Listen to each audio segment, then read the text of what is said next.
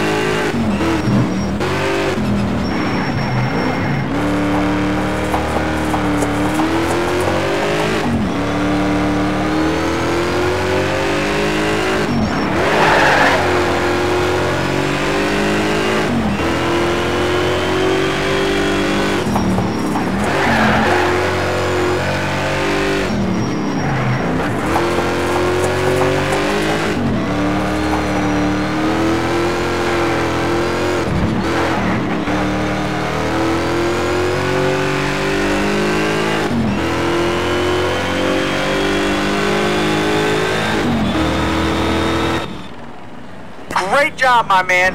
Great job.